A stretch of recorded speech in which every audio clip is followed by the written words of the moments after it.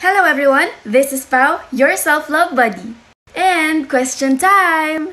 Ate, paano ba ako magsisimula? Six years na three months kami, pero iba na nagpapasaya sa kanya. Aray!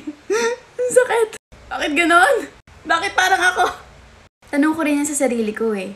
Paano na ngayon? Paano na bukas? Paano ako magiging masaya? Paano ako magsisimula? Pero alam niyo na-realize ko, mas importante yung tanong na paano kaysa sa bakit. Kasi yung bakit hindi tayo makakasagot eh. Parang nasa ibang tao yung power para masagot yon and wala tayong control doon. Kaya mas maganda yung tanong na paano. Paano ako magsisimula ulit? Okay, ang tagal nyo. Okay, may bago na siyang iba. Eh ano naman, ang importante ikaw. Paano ka makakaalis sa ganong sitwasyon? So, paano nga ate? Una, tanggapin mo ang realidad mo ngayon. Wala na kayo, tapos na, may iba na siya. Aray, ang harsh mo te. Joke lang po.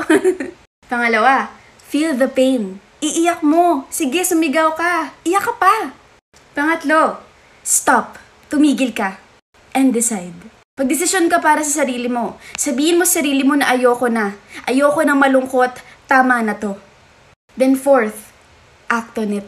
Siguraduhin mo may paninindigan ka para mag-move forward. Dapat goal mo everyday may nagbabago.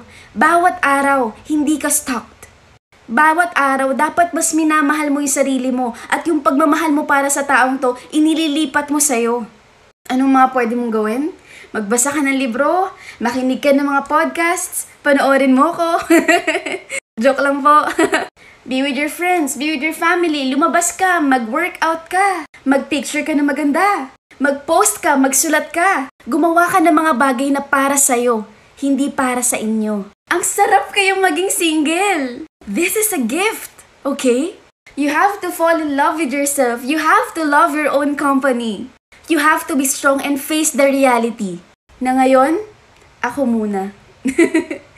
so thank you so much for asking. I hope nasagot ko yung tanong mo. Salamat!